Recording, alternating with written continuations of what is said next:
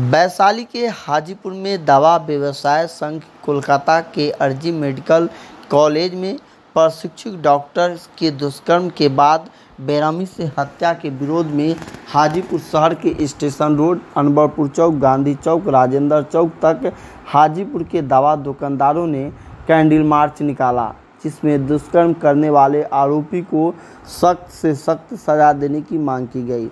Candle march में हाजीपुर के दवा व्यवसाय से लेकर आम लोग भी शामिल हुए।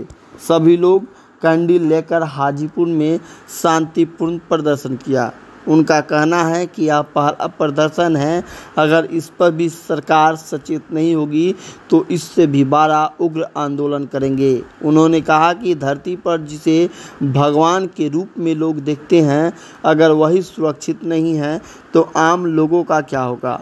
उनका कहना है कि दवा व्यवसाय संघ के लोगों का कहना है कि जल्द से जल्द डॉक्टर के साथ जो भी सख्त ने घटना की है, उसे फांसी की सजा मिले और जल्द से जल्द सरकार कार्रवाई करे। कैंडल मार्च निकाला डॉक्टर मोमित्रा देवनाथ की जो हत्या हुई है, निर्मम हत्या हुई, उसके सभी दोषियों को फांसी की सजा दी जाए और ये हम लोग का दवा व्यवसायी का हाजीपुर का एक फ़र्स्ट पहला चरण है आंदोलन का। अगर नहीं उस पर कार्रवाई हुई तो आगे भी हम लोग क्रमबद्ध आंदोलन करते रहे।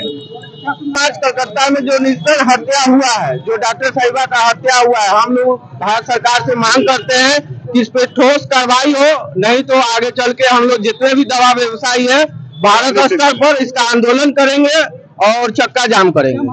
मांग है कि जब जितने भी हम अमल कातिल है, उनको जल्द से जल्द पकड़ा जाए और कठोर से कठोर सजा दिया जाए। आज हम लोग कैंडल मार्च निकाल के विरोध प्रदर्शन का आगाज़ किए नितेश